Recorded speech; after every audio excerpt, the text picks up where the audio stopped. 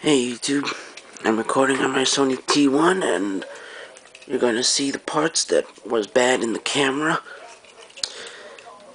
I thought it was the CCD, so I made an attempt to first fix the CCD, but it turns out I ripped I ripped the little ribbon cable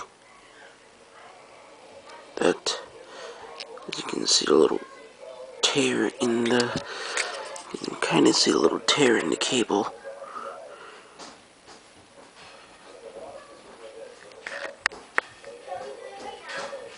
Oh, you see a little tear?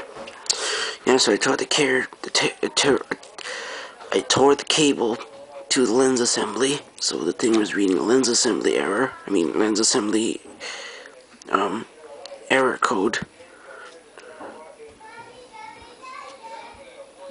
And then yeah, so I thought it was a CCD, so I tried to fix it and ripped the ribbon cable. But last night, I changed, I swapped out the motherboard, and turns out it was the motherboard. The motherboard was bad. Here's your little speaker, and your other parts on this thing. It looks awesome. Without the button board, without the top button piece. I can't make this thing make noise, so yeah. So it's a very beautiful piece, but broken. Battery compartment, memory stick compartment, charging port. Awesome. Really awesome.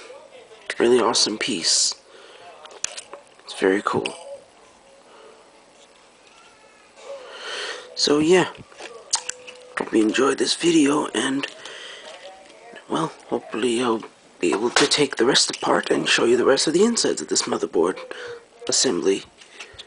So yeah, enjoy the video. Have a nice day.